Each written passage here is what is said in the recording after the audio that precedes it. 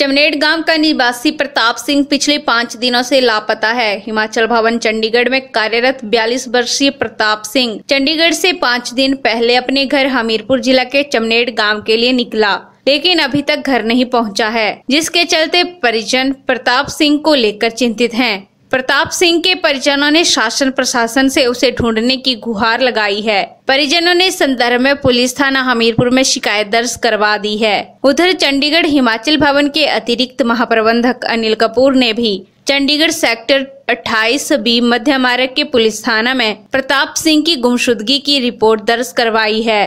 पीआईटीवी के लिए हमीरपुर से ब्यूरो रिपोर्ट।